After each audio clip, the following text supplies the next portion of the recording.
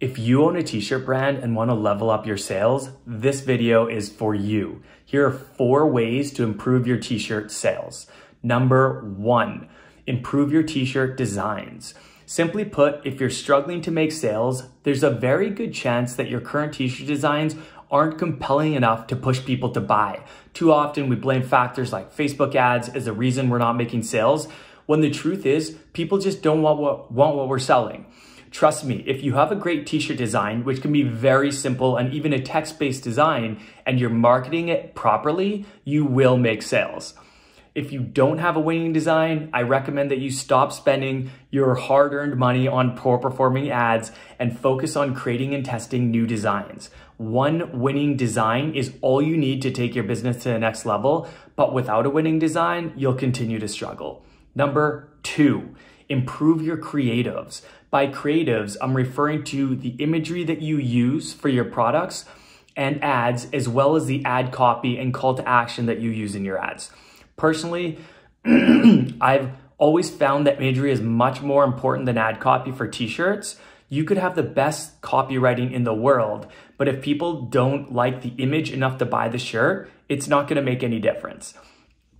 I could do a full video on this topic, but one of the most common issues that I see is that either the imagery itself is poor quality or that the design is just too small or partially hidden. It's important to realize that likely 80 to 90% of your viewers are gonna be viewing your products on a mobile device. And if the design is too small or partially hidden, most people will skip over it. Make sure that your design is the hero of the image and that the entire design is easily visible from a mobile device.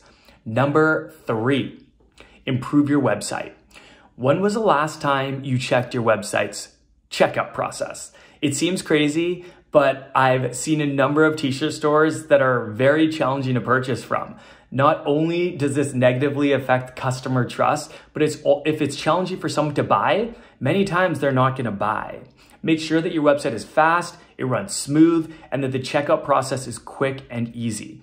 It's important to realize that many times when customers have not heard of a t-shirt brand, they'll be quick to abandon their cart at the first sign of friction. Additionally, be sure to conversion optimize your website with features to increase social proof, such as high quality imagery, a thorough FAQ, customer reviews, trust badges, just to name a few. You can never have enough social proof. Number four is price. Now, to be honest, I actually almost didn't want to include this one because I actually think price is rarely a reason for poor sales in our experience. Personally, I feel that many t-shirt brands actually underprice their items, which lowers the perceived value and causes them to compete with other low price and likely lower quality t-shirt brands.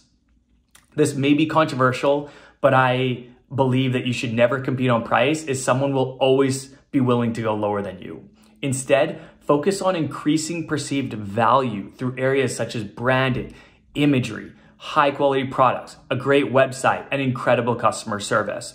That said, some audiences are more price sensitive than others, and if the perceived value doesn't align with the price, this could be an issue for your business. However, this is rarely the case from what I've seen. Hope you guys found this helpful. Follow me for more t-shirt brand tips.